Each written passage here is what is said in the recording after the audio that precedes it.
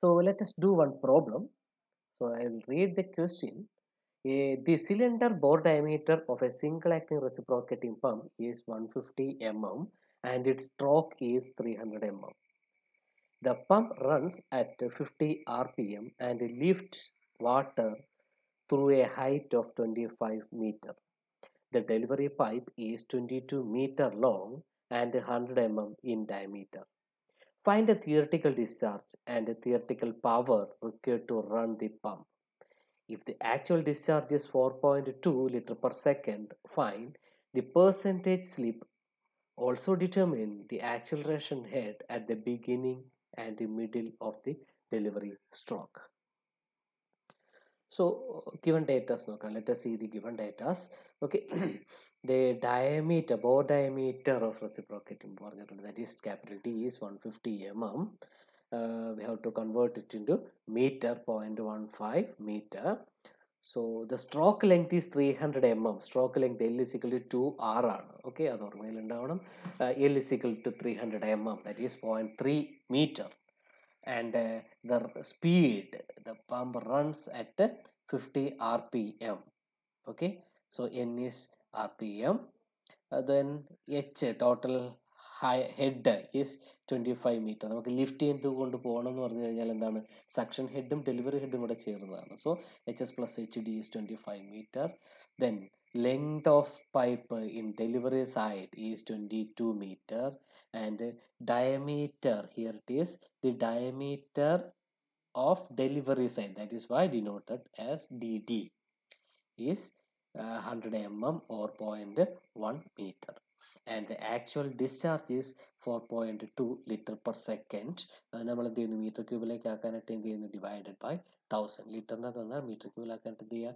Thousand കൊണ്ട് divide ചെയ്യുക okay so Q theoretical is LN by 60. So we know the values uh, L N and we can calculate the area pi by 4 d square. So that will get uh, uh, Q theoretical as 0.00441 meter cube per second.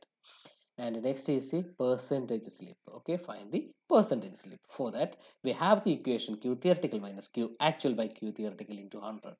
So uh, we know all these values and substitute here we will get as 4.76 percentage and the theoretical power right okay uh, also determine the acceleration head theoretical power required to run the pump okay? So p is rho g q h okay?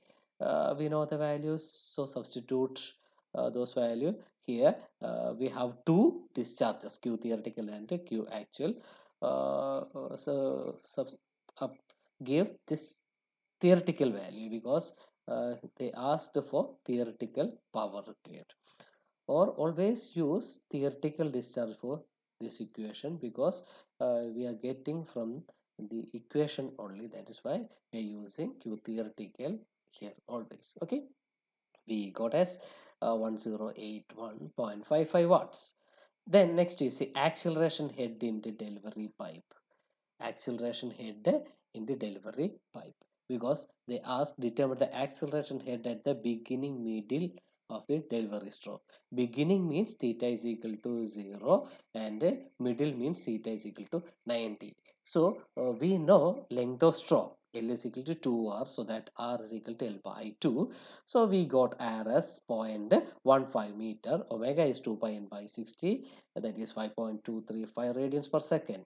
Area AD is pi by 4 d square okay dd is given so 0.1 square. At the beginning of the delivery stroke theta is equal to 0 so uh, in this equation cos 0 is 1 so we got SHAD is equal to LD by G A by AD omega square R. Substitute the values here. You will get s 20 meter. At the middle of the delivery stroke theta is 90 so cos 90 is 0 then we are substituting here that is cos 90 this will be 0 so 0 into this term will be 0 into this term will be 0 so HAD will be 0 okay? Thank you